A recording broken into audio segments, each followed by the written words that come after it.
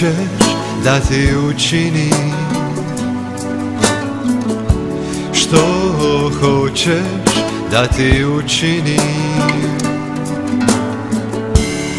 Isus me pita Isus me pita Isus me pita.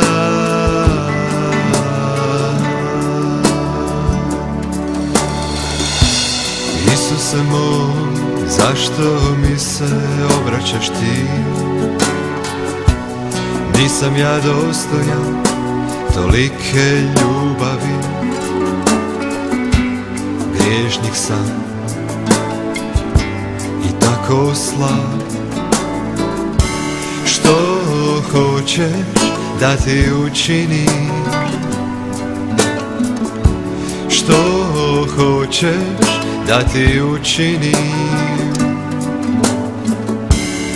Isus me pita Isus me pita Isus me pita.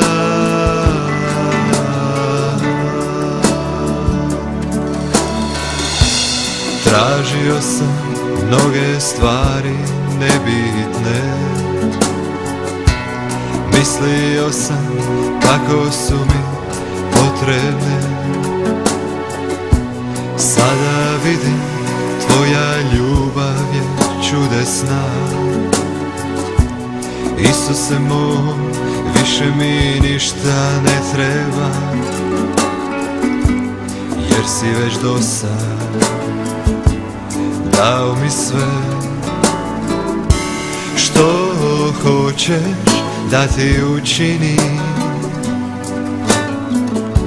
Što hoćeš da ti učinim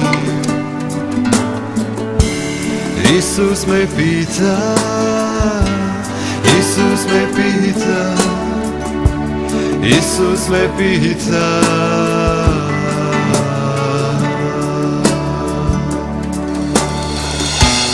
Isuse Želim samo jedno.